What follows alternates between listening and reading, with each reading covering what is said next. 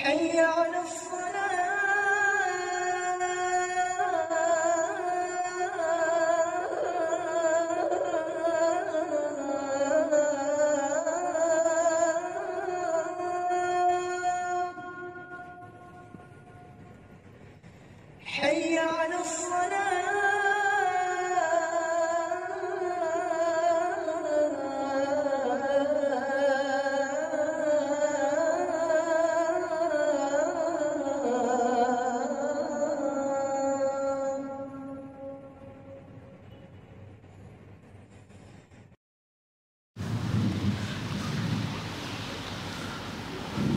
الحمد لله.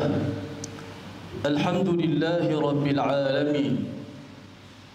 الحمد لله العلي الأعلى الولي المولى الذي خلق فسوى وقدر فهدى. سبحانه سبحانه يكور الليل على النهار ويكور النهار على الليل وسخر الشمس والقمر كل يجري لأجل مسمى ألا هو العزيز الغفار. أشهد أن لا إله إلا الله وحده لا شريك له وأشهد أن سيدنا ونبينا محمدا رسول الله. اللهم صل وسلم وزد وبارك يا ربنا على سيدنا محمد النبي الأمي. العربي الكرشي الهاشمي المكي المدني الزمزمي وعلى آله وأصحابه وجعلنا اللهم من ورثة المقام المحمدي. اللهم آمين. أما بعد فاتقوا الله عباد الله حق التقوى وراقبوه في السر والنجوى. قال سبحانه وتزودوا فإن خير الزاد التقوى واتقون يا أولي الألباب وقال سبحانه يا أيها الذين آمنوا اتقوا الله حق تقاته ولا تموتن إلا وأنتم مسلمون Hadirin sidang Jumaat yang dimuliakan Saya berpesan kepada diri saya sendiri Dan sekalian umat Islam untuk sama-sama kita meningkatkan ketakwaan kita kepada Allah Subhanahu wa taala yang melaksanakan segala perintah dan meninggalkan akan larangannya. Moga-moga kita menjadi orang-orang yang cemerlang di dunia dan juga di hari akhirat. Marilah sama-sama kita menghayati firman Allah Subhanahu wa taala dalam surah Al-Baqarah ayat yang ke-218. أعوذ بالله من الشيطان الرجيم بسم الله الرحمن الرحيم إن الذين آمنوا والذين هاجروا وجاهدوا في سبيل الله أولئك يرجون رحمة الله والله غفور رحيم Sesungguhnya orang-orang yang beriman itu dan orang-orang yang berhijrah serta orang-orang yang berjihad pada jalan Allah Subhanahu wa taala mereka itulah orang-orang yang mengharapkan akan rahmat daripada Allah Subhanahu wa taala. Dan Allah Taala itu Maha Pengampun lagi Maha Penyayang. Di antara amalan takwa yang tinggi nilainya di sisi Allah Subhanahu wa taala ialah berhijrah di jalan Allah Subhanahu wa taala.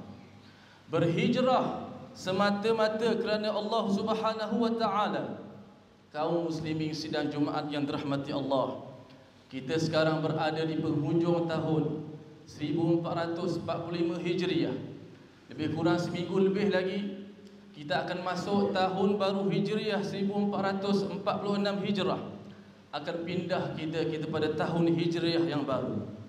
Yang mana kalender Islam yang diambil daripada peristiwa hijrah Rasulullah sallallahu alaihi wasallam dan orang-orang yang beriman daripada kota Mekah ke kota Madinah yang dikenali dengan Yathrib terlebih dahulu.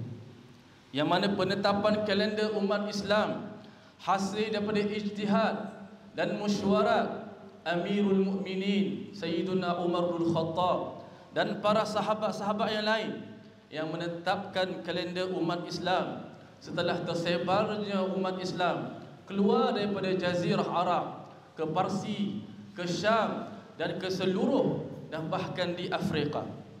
Maka penetapan dilakukan, mesyuarat dilakukan oleh para sahabat, sahabat bagi Nabi sallallahu alaihi wasallam.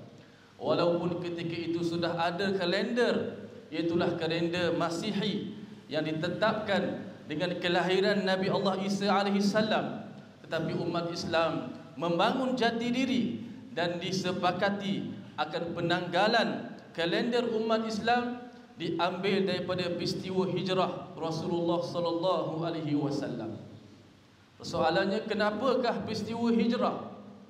Kenapakah penanggalan kalender umat Islam diambil daripada peristiwa hijrah? Tidak diambil dengan peristiwa kelahiran Nabi SAW ataupun kewafatan baginda ataupun tahun yang baginda diangkat untuk menjadi rasul.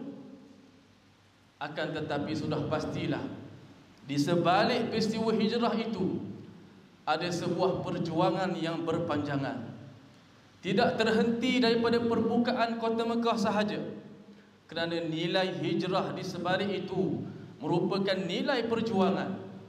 Kerana nilai hijrah itu merupakan nilai pengorbanan dan tertegaknya Islam dan mulia dan agungnya Islam kerana perjuangan dan juga pengorbanan.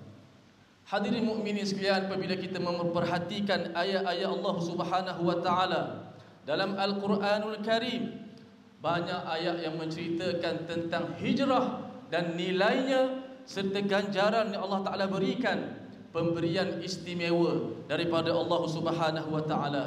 Sebagaimana ayat yang dibacakan di awal khutbah tadi innal ladzina amanu wal ladzina hajaru wajahadu fi sabilillah sesungguhnya orang-orang yang beriman dan orang-orang yang berhijrah kerana keimanan kepada Allah Subhanahu wa taala serta berjihad pada jalan Allah Subhanahu wa taala. Kenapa berhijrah? Jawapannya kerana menyahut seruan Allah Subhanahu wa taala. Kenapa berhijrah? Adalah semata-mata kerana Allah Subhanahu wa taala kerana mengharapkan rahmat daripada Allah Subhanahu wa taala. Allah sebut mereka ini ulaika yarjuna rahmatullah. Ulaika yarjuna rahmatullah. Mereka ni berhijrah semata-mata nak mengharapkan rahmat pertolongan Allah Subhanahu wa taala. Sebalik kemajuan yang kita miliki, kesejahteraan yang kita ada tidak akan lengkap dan sempurna tanpa rahmat daripada Allah Subhanahu wa taala. Bahkan kita boleh jadi musnah dan binasa. Dan Allah Taala tutup ayat tersebut dengan nama Allah, dengan nama Allah iaitu Ghafur Rahim. Wallahu Ghafurur Rahim. Allah Maha Pengampun lagi Maha Penyayang memberi isyarat kepada kita bahawa orang yang berhijrah ini Allah Taala akan masukkan mereka ini ke dalam syurga Allah Subhanahu wa taala.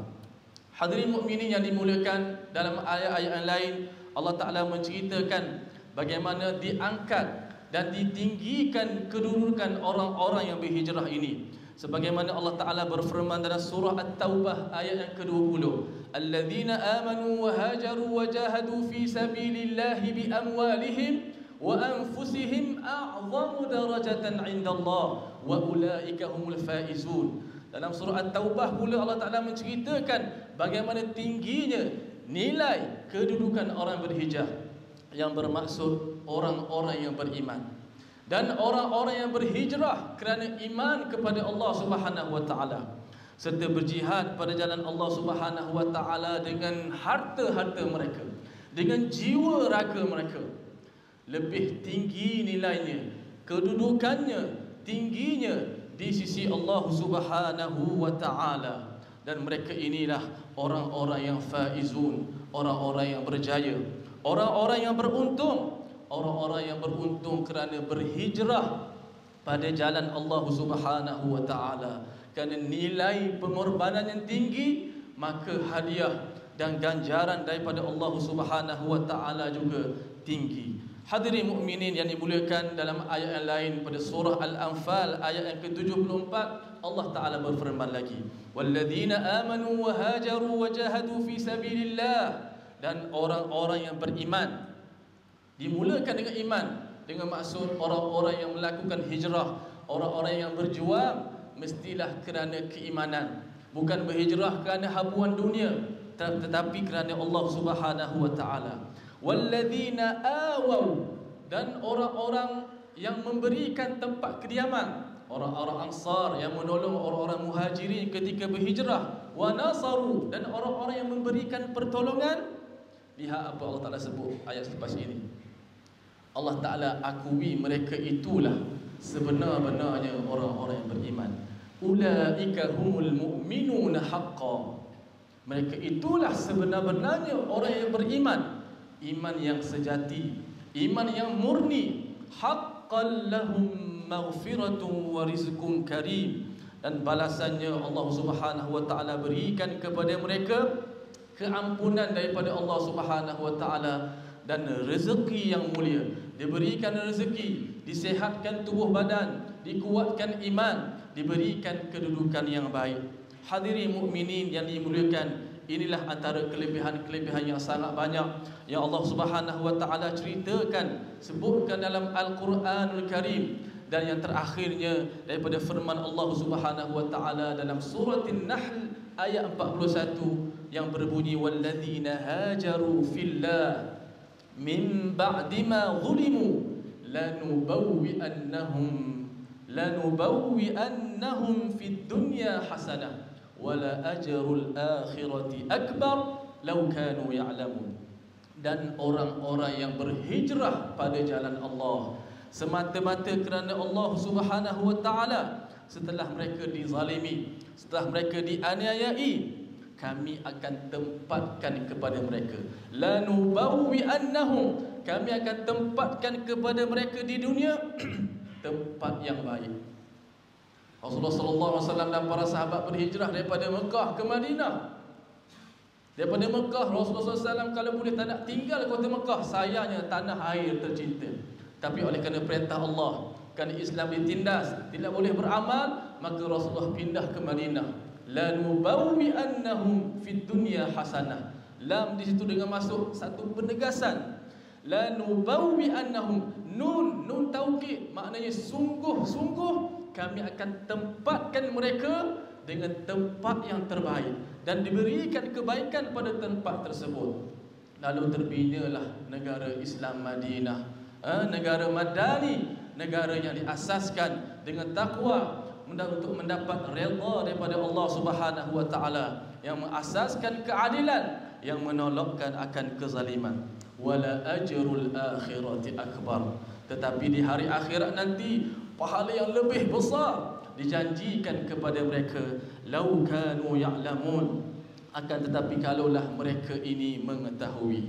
Hadirin mukminin yang dimuliakan maka kesimpulan marilah sama-sama kita berhijrah di jalan Allah Subhanahu wa taala kita bukan disuruh berpindah. Kita duduk di Shah Alam bukan kita dipaksa untuk berpindah ke Johor, ke Terengganu ataupun ke Pulau Pinang. Kita perlu berpindah daripada akhlak yang buruk kepada akhlak yang mulia. Berpindah daripada perkara yang haram kepada perkara yang halal. Berpindah daripada benda yang makruh kepada benda yang sunnah. Yang halal kita halalkan. Yang haram kita haramkan. Jangan kita halal. Menjauhi rasuah menjauhi korupsi, menjauhi beri memberi, mengurangkan timbangan hak, mengurangkan hak orang lain dan sebagainya dan jauhilah riba. Fa illam taf'alu fa'dhanu biharbin minallahi wa rasulih. Jika kamu tidak mahu menjauhinya, maka Allah dan Rasul mengisytiharkan perang. Bagaimana mampu kita mampu nak berperang melawan Allah Subhanahu wa taala? Moga hari ini menjadi hari yang lebih baik daripada semalam. Esok lebih baik daripada hari ini. Allah Ta'ala muliakan kita dengan hijrah. Allah Ta'ala muliakan kita dengan Islam. Mudah-mudahan Allah Ta'ala muliakan kita dengan Al-Quran. Ingatlah pahala hijrah sangatlah besar di sisi Allah Subhanahu Wa Ta'ala. Kerana apa? Kerana pengorbanan yang besar maka nilai ganjarannya juga besar. Minasyaitonir rajim. Wa man yakhruj min baitihi muhajiran ila Allah wa rasulih thumma yudrikhu al-maut faqad waqa'a ajruhu 'ala Allah wa kana Allah ghafurur rahima. Dan siapa yang keluar daripada rumahnya semata-mata berhijrah muhajiran ila Allah wa rasulih kepada Allah dan rasulnya kemudian dimati di tengah jalan kematian mendapatkannya maka tetaplah pahala dicatatkan baginya daripada Allah Subhanahu wa taala dan Allah taala Maha Pengampun lagi Maha Penyayang. Barakallahu li wa lakum fil Qur'anil azim wa nafa'ani wa iyyakum lima fihi min al ayati wadh dhikril hakim wa taqabbala minni wa minkum tilawatah innahu huwas samiul alim. أقول قولي هذا وأستغفر الله العظيم لي ولكم ولسائر المسلمين والمسلمات فاستغفروه إنه كان غفارا. ادعوا ربكم.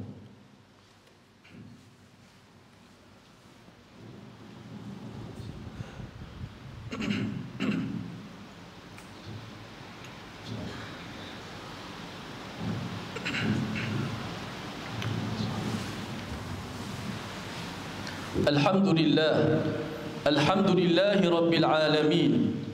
الحمد لله على إحسانه والشكر له على توفيقه وامتنانه. أشهد أن لا إله إلا الله وحده لا شريك له وأشهد أن سيدنا ونبينا محمدا عبد الله ورسوله. اللهم صل وسلم على سيدنا ومولانا محمد وعلى آله وصحبه أجمعين. أما بعد فيا عباد الله اتقوا الله أوصيكم وإياي بتقوى الله فقد فاز المتقون. قال الله تعالى يا أيها الذين آمنوا اتقوا الله وقولوا قولا سديدا يصلح لكم أعمالكم ويغفر لكم ذنوبكم ومن يطع الله ورسوله فقد فاز فوزا عظيما. قال الله تعالى إن الله وملائكته يصلون على النبي يا أيها الذين آمنوا صلوا عليه وسلموا تسليما. اللهم صل وسلم على سيدنا محمد وعلى آله وأصحابه أجمعين. اللهم اغفر للمسلمين والمسلمات والمؤمنين والمؤمنات الأحياء منهم والأموات. اللهم أصلح أئمة المسلمين وولاة أمورهم وجميع المسلمين. اللهم إنا نسألك ونتوسل إليك بنبيك الأمين. ونسألك بأسمائك الحسنى وصفاتك العلى أن تحفظ بعين عنايتك الربانية وبحفظ وقايتك الصمدانية. جلالة ملكنا المعظم سلطان سلام سلطان شرف الدين إدريس الحاج. ابن المرحوم سلطان صلاح الدين عبد العزيز شاه الهاد. اللهم أديم العون والهداية والتوفيق والصحة والسلامة منك. لولي أهد سلانغون تكو أمير شاه ابن سلطان شرف الدين إدريس الحاد في أمن وصلاح وعافية بمنك وكرمك يا ذا الجلال والإكرام. اللهم أطل أمرهما مصلحين للموظفين والرعية والبلاد وبلغ مقاصدهما لطريق الهدى والرشاد. اللهم إنا نسألك قبل الموت توبة وعند الموت شهادة وبعد الموت الحسنى وزيادة. اللهم اختم لنا بالإيمان اللهم اختم لنا بالإحسان اللهم اختم لنا بالقرآن. آمين آمين يا رب العالمين. وآخر دعوانا أن الحمد لله رب العالمين. عباد الله اذكروا الله العظيم يذكركم واشكروه على نعمه يزدكم واستغفروه يغفر لكم وأقم الصلاة.